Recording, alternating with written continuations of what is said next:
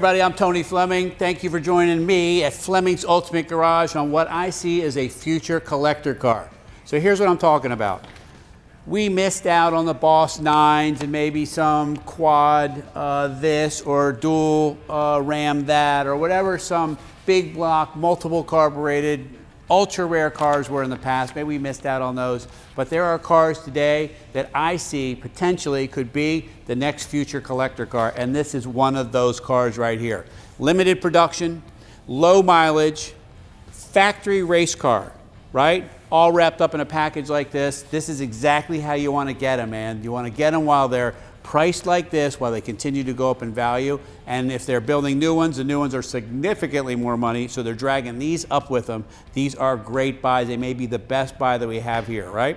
So many small features on these cars, the Boss 302s, that's so different than say a GT500 or regular Mustang GT Premium. We got to spend a minute, we got to talk about it, we're going to show you maybe a couple of things you might not have even known, and then maybe we'll find a way to help you get this in your garage. All right, to go racing on Sundays or Saturdays, whatever it mean, uh, you had to build these and sell them to the public. And that's what we have here. This is a factory race car. Why do I say that? Let's look at the splitter down here uh, for the front spoiler. No regular street car would ever offer something like that, right? Look how low it is. It's adjustable. Look how much air we can get in to cool the engine, cool that in. Fresh air ducts for the intake manifold, right? And then you have this uh, lightweight composite hood versus metal. Said that, great color. The color is fabulous, man. I love this color. And you know what? A little bit of a throwback to the original Boss 302. It has a reflective stripe on it, so at night you're going to see a whole different color of, uh, of this turn from black to like a, a gold flake and things like that. It's super cool as you're going down the road. Wheel and tire combination, right? This is uh, wrapped around some big wheels and tires and some giant Brembos wrapped in there too. If this car can't stop, it can't go, right? Doesn't matter how much horsepower you have.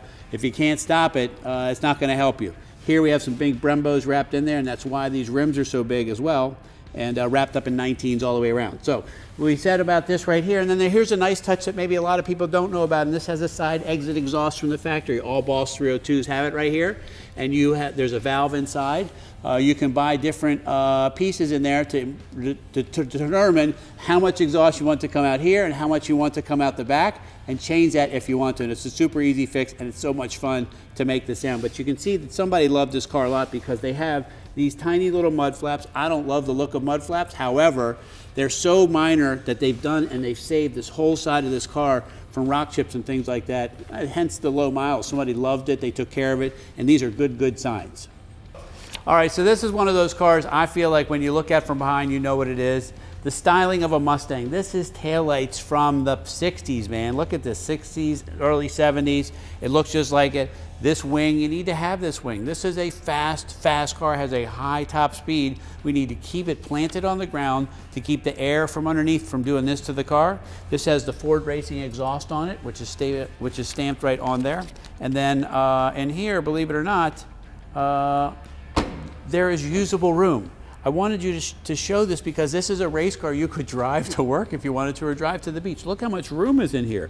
You could actually get inside this trunk, right, and lay down if you wanted to, hence why they put this in here. That's a safety in case somebody crawled in and needed to get out. But another small piece that a lot of people don't know and don't see is these VIN stickers are important. Why are these little stickers important? Because these are the serial numbers of the car. This is a security guard right here so that if people were to steal these parts and try to sell them, they could track them back to here. It stops the theft of that happening if there's, if, especially if thieves see that they're marked and they're covered up. But I love the back end of this car. All right, so listen, uh, the outside of the car as you walk up to it is, is amazing. We already saw that, we love that, right? Let's get in here where you're gonna spend some time because this right here, this right here is a race car cockpit. You say, well, Tone, how is that a possible race car cockpit? It's in a Mustang. Huh, let's start with this.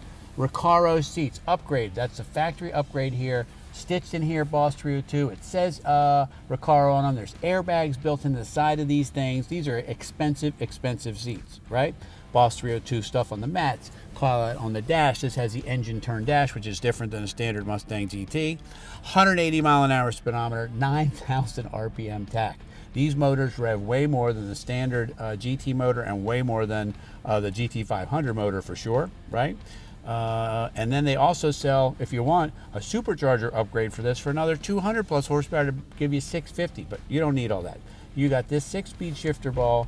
This motor winds up so nice, makes so much power, right? And you have a great cockpit right here. The wheel feels good. It's an Alcantara steering wheel as well.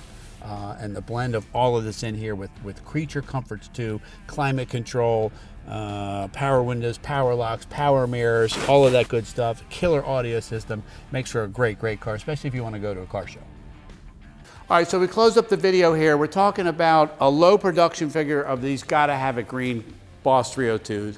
A low mileage car to begin with, beautifully taken care of, high options, real deal factory race car, right? This is it, man. If you've never driven one, don't let anybody read the reports that are out there. The people that have done good ones like Motor Trend or somebody Car and Driver uh, have done real deal reports on these cars and, and lap them around tracks, and they will tell you there is no better handling, better driving Mustang ever built, ever built than the Boss 302. Anyway, call us 301 816 1000. We'll tell you all about this Boss 302 and find a way to get it in your garage. All right, so we're taking it down on the home stretch back to the place where you're going to pick up your car or we're going to ship it to you. And look at this. It's just so easy to drive. Listen to the sound.